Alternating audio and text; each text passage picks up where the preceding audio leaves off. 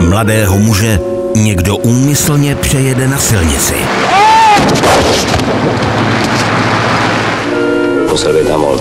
Nebo ho přijel schválně. Minulost se vrací Tohle vypadá, jako kdyby tam někdo něco hledal.